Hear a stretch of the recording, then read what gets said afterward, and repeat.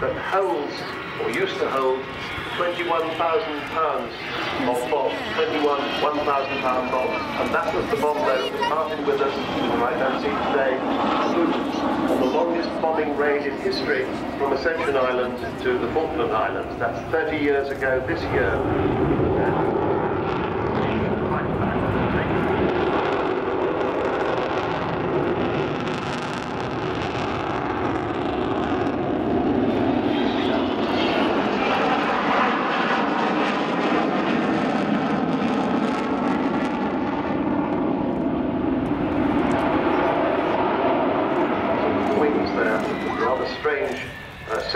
The air brakes.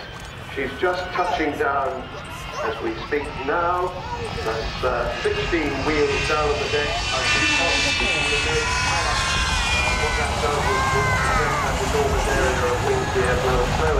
quickly.